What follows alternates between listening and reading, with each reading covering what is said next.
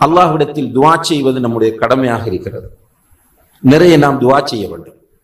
வெறுமனே வீதிகளில் இறங்கி போராடுவதோடு மாத்திரம் நின்று விடாமல் ஆர்ப்பாட்டங்கள் நடத்துவதோடு மாத்திரம் நின்று விடாமல் மாநாடுகள் நடத்துவதோடு மாத்திரம் நின்று விடாமல் நமக்கு இருக்கிற மிகப்பெரிய ஆயுதம் துவா பிரார்த்தனை. அல்லாஹ் குரானில் கேட்கிறான் அம்மை யுஜீபுல் முக்தர்ர இதா தா ஒரு நிற்கதியாக்கப்பட்டவன் துவா செய்தால் அவனுக்கு பதிலளிப்பவன் யார் இருக்கிறான்? அல்லாஹுவை தவிர. வயக்ஷிஃபு சூ கஷ்டங்களை அகற்றுவதற்கு வேறு யார் இருக்கிறான் என்று அல்லாஹ் கேட்கிறான். இதையெல்லாம் ஈமான் கொண்டிருக்கிற நாம் வெறுமனே பௌதிக காரணங்களில் காரணிகளில் மாத்திரம் நம்பிக்கை வைப்பது என்பது நம்முடைய அக்கீதாவை பாதிக்கும். நான் நிறைய நிகழ்ச்சிகளை நிறைய போராட்டங்களை அவதானித்துக் கொண்டு வருகிறேன்.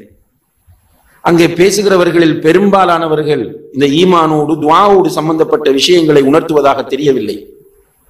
லட்சக்கணக்கான மக்கள் ஒன்று கூடுகிறார்கள்.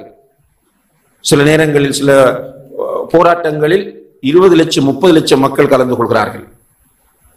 அங்கே அந்த மக்களுக்கு அல்லாஹ்விடத்தில் திரும்ப வேண்டும் என்கிற வழிகாட்டல் கண்டிப்பாக சொல்லப்பட வேண்டும் நினைவுபடுத்துவது விசுவாசிகளுக்கு பயனளிக்கும்.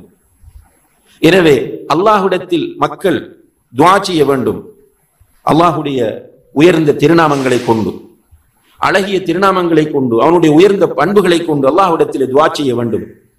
நாம் செய்த நல்லமல்களை வைத்து அல்லாஹ்விடத்திலே உதவி தேட வேண்டும். நிச்சயமாக அல்லாஹு தாலா தன்னுடைய அடியான் அல்லாஹ்விடத்தில் கைகளை உயர்த்தினால் அதை வெறுங்கையாக அனுப்புவதற்கு வெட்கப்படுகிறான் என்று நபீல் நாயம் சுல்லா அலிஸ்லாம் அவர்கள் சொல்கிறார்கள்.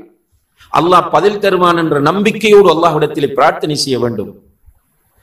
பொறுமை தக்குவா பிரார்த்தனை போன்ற வணக்க வழிபாடுகளில் நாம் ஈடுபடுவது இன்றைய காலத்தில் நம்முடைய கட்டாய தேவை என்பதை நாம் எல்லோரும் புரிந்து கொள்ள வேண்டும்.